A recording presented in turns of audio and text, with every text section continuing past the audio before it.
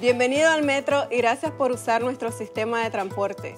Nuestra primera prioridad es su seguridad, así que permítanos hablar un minuto acerca de lo que usted debe hacer en caso de una emergencia que involucre fuego o humo. Los trenes del metro son movidos por una fuerte corriente eléctrica transmitida a través del tercer riel.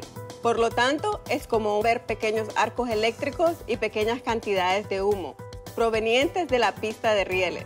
Pero si usted ve fuego o una gran cantidad de humo, esto significa que es tiempo de actuar.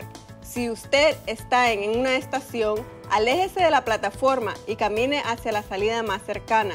Los empleados del metro y el personal de emergencia le indicarán cuándo usted podría regresar a la estación.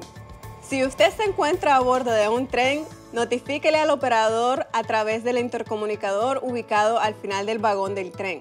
Por una sola vez, presione y suelte el botón rojo. Espere hasta que el operador responda y entonces puede usted comenzar a hablar.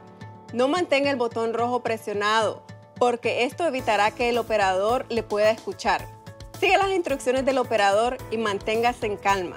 El operador del tren está en contacto permanente con el centro de operaciones del metro y mantendrá informado a los pasajeros de la evolución de la situación de emergencia. Si usted no se encuentra en una situación de peligro, usted se encontrará más seguro dentro del tren.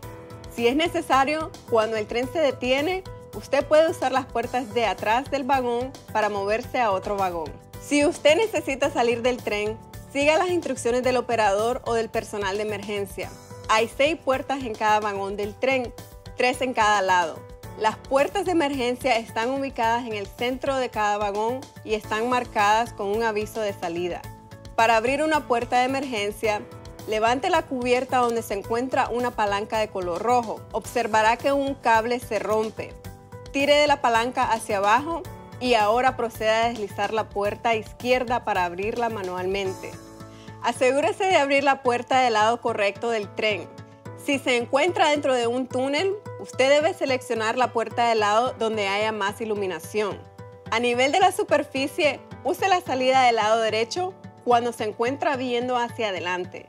En una vía elevada, use la salida de lado con la pasarela. Debido a que la potencia eléctrica llega al tren a través de un riel, es muy importante que usted espere al personal de emergencia para ayudarlo a salir del tren. Siga a este personal a la estación más cercana o salida de emergencia.